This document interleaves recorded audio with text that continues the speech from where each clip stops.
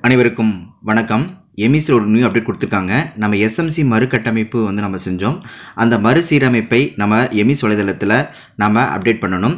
இருபது உறுப்பினர்களுக்கும் நம்ம வந்து அப்டேட் பண்ணணும். அதை எவ்வாறு நம்ம பண்ணலாம் அப்படிங்கிறத பற்றி தான் நம்ம இந்த வீடியோவில் பார்க்க போகிறோம் மறக்காமல் சேனல் சப்ஸ்கிரைப் பண்ணுங்கள் வீடியோ எனக்கு ஷேர் பண்ணுங்கள் ஃபஸ்ட்டு உங்களுடைய க்ரோம் ப்ரௌசர் ஓப்பன் பண்ணிக்கிங்க. எம்இஸ் டிஎன் ஸ்கூல் அப்படின்னு நீங்கள் டைப் பண்ணிக்கிங்க. ஆல்ரெடி பார்த்தீங்க அப்படின்னா நான் லாகின் இருக்குன்னா டேரக்ட் எனக்கு ஓப்பன் ஆயிரும். சப்போஸ் நீங்கள் லாக் அவுட் பண்ணியிருந்தீங்கன்னா உங்கள் படிக்கான டைஸ் நம்பரையும் பாஸ்வேர்டு போட்டு நீங்கள் லாகின் பண்ணிக்கலாம். அதில் பார்த்தீங்க அப்படின்னா ஸ்கூல்ஸ் அப்படிங்கிற காலத்துக்கு கீழே பார்த்தீங்க அப்படின்னா எஸ்எம்சி மறுசீரமைப்பு அப்படின்னு உங்களுக்கு ஒரு காலம் கொடுத்துருப்பாங்க. ஏரோ மார்க் கட்டடத்தில் அதை நம்ம கிளிக் பண்ணிக்கலாம். கிளிக் பண்ணிட்டு மேலே ஏரோ மார்க்கை நீங்கள் வந்து கிளிக் ப எடுத்துட்ருங்க இதில் என்ன சொல்லியிருக்காங்களா கைட்லைன்ஸில் நம்ம வந்து எஸ்சி எம்பிசி கேட்டகரியில் எழுபத்தஞ்சு பர்சன்டேஜ் வந்து நம்ம பேரண்ட்ஸ் வந்து நம்ம நியமிக்கணும்னு சொல்லியிருக்காங்க. அதில் ஐம்பது பர்சன்ட் உறுப்பினர்கள் வந்து பெண் உறுப்பினர்களாக எஸ்எம்சி அமைப்பில் இருக்கணும்னு சொல்லியிருக்காங்க. ரெண்டாவது பார்த்திங்க அப்படின்னா இதில் யார் யார் வந்து நம்ம அப்லோட் பண்ணோம் அப்படின்னா சேர்பர்சன் அதாவது எஸ்எம்சி தலைவர் அடுத்தது துணைத் தலைவர் அப்புறம் ஆசிரியர் பிரதிநிதி அப்புறம் பேரண்ட்ஸ் மெம்பர்ஸ் இவங்க எல்லாத்தையுமே நம்ம அப்லோட் பண்ணணும். அதுபோக உள்ளாட்சி அமைப்பையும் நம்ம வந்து பிரதிநிதிகளையும் நம்ம அப்லோட் பண்ணணும். இருபது பேர்த்தையும் நம்ம அப்லோட் பண்ணணும். ஃபஸ்ட்டு ஒன்று நேம் கொடுத்துருப்பாங்க. நேம் இங்கிலீஷில் டைப் பண்ணிக்கிங்க. அடுத்தது உங்களோட ஜெண்டர் கேட்டிருப்பாங்க. ஜெண்டரையும் வந்து இங்கிலீஷில் நீங்கள் வந்து கேட்டகரி கிளிக் பண்ணிக்கிங்க. அடுத்தது அவங்களோட கம்யூனிட்டி கேட்டிருப்பாங்க. அவங்க எந்த கம்யூனிட்டியில் வராங்களோ அந்த கம்யூனிட்டி நீங்கள் வந்து கிளிக் பண்ணிக்கலாம். அடுத்தது பார்த்தீங்க அப்படின்னா பேர கேட்டகரியில் வந்து பேரண்ட்டுங்கிறது இன்பில்ட்டாகவே இருக்கும். சப் கே சப் கேட்டகரியில் பார்த்தீங்க அப்படின்னா பேரண்ட்டில் வராங்களா அல்லது சிடபிள்யூஎஸ்எனில் வராங்களா அது எந்த கேட்டகரி அந்த கேட்டகரி நீங்கள் வந்து கிளிக் பண்ணிக்கலாம். அடுத்தது பார்த்திங்க அப்படின்னா ஆதார் நம்பர் வந்து கம்பல்சரி நீங்கள் போடணும்னு அவசியம் இல்லை. உங்களுக்கு சப்போஸ் தெரிஞ்சிருந்தால் நீங்கள் வந்து ஆதார் நம்பரை ஆட் பண்ணலாம்.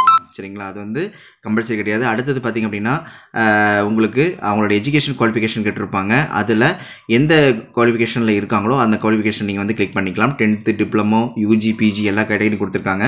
அந்த கேட்டகரியும் கிளிக் பண்ணிக்கலாம். நெக்ஸ்ட் பார்த்திங்க அப்படின்னா அவங்களுடைய எழுத்தறிவு நிலை கேட்டிருக்காங்க. அதில் எந்த கேட்டகரியில் வர்றாங்களோ அந்த எழுத்தறிவு நிலையை நீங்கள் வந்து ஆட்டோமேட்டிக்காக அதில் வந்து ஆட் பண்ணிக்கலாம். அடுத்தது பார்த்திங்க அவங்களுடைய ஆக்குபேஷன் கேட்டிருக்காங்க. ஆக்குபேஷனில் அவங்க ஒர்க்கராக அல்லது வந்து நான் ஒர்க்கரா அப்படிங்கிறத நீங்கள் பார்த்து அந்த கேட்டகரி வைஸ் நீங்கள் போட்டுக்கலாம். அதுக்கான ஆப்ஷன் வழிமுறைகளையும் வந்து கொடுத்துருக்காங்க.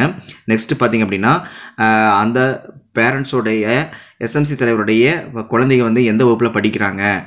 துணைத் தலைவர் குழந்தைங்க எந்த ஊரில் படிக்கிறோம் அந்த கேட்டகரி கிளிக் பண்ணி அதோட செக்ஷனையும் வந்து நம்ம வந்து கிளிக் பண்ணணும். இப்போ அதை வந்து நான் கிளிக் பண்ணிட்டேன். அடுத்தது பார்த்தீங்க அப்படின்னா அதெல்லாம் அந்த குழந்தையோடைய நேம் வந்து உங்களுக்கு காட்டும். இப்போ செகண்ட் சேனல் கிளிக் பண்ணால் செகண்ட் சேனல் உங்களுக்கு காட்டும். கீழே வந்து பார்த்திங்கன்னா உங்களோட அட்ரஸ் வந்து டைப் பண்ணுறதுக்கு ஆப்ஷன் கொடுத்துருக்காங்க. மூணாவது அவங்களுடைய மொபைல் நம்பர் வந்து நம்ம டைப் பண்ணணும். டைப் பண்ணி முடிச்சதுக்கப்புறம் பார்த்தீங்க அப்படின்னா அவங்க வந்து ஐடிக்கே உடைய வாலண்டியர்ஸ்னு கேட்டிருக்காங்க. அப்படி இருந்தால் நீங்கள் வந்து எஸ்ன்னு கொடுங்க. இல்லை அப்படின்னா நீங்கள் நோ அப்படிங்கிறத நீங்கள் கொடுத்துடலாம்.